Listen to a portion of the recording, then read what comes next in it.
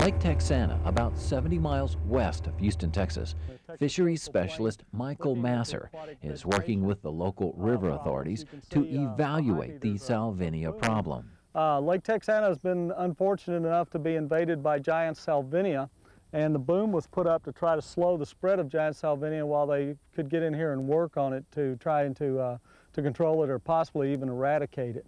You can see uh, giant salvinia isn't the only problem here. There's a lot of water hyacinth in the lake, but then underneath the water hyacinth is the giant salvinia, and it's at the stage where we call it a pioneer stage, uh, which means it's really rapidly growing, rapidly fragmenting and, and spreading.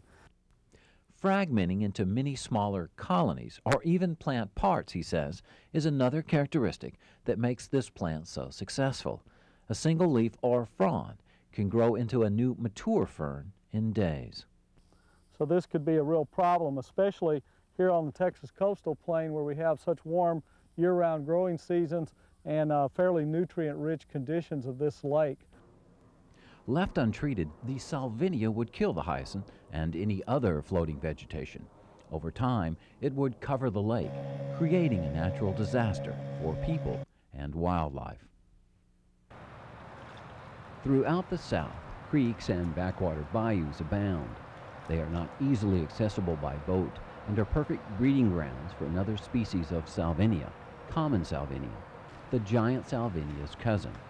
Both common and giant are quite similar in their growth rate and their ability to destroy habitat. Both were probably introduced into this country through the water garden trade. Giant salvinia has become so prolific that it's illegal to transport, sell, or possess the weed in eight states. Unfortunately, giant salvinia can legally be cultivated and sold within the other 42 states as long as the weed does not cross state lines. Common salvinia is only restricted in Texas and Louisiana.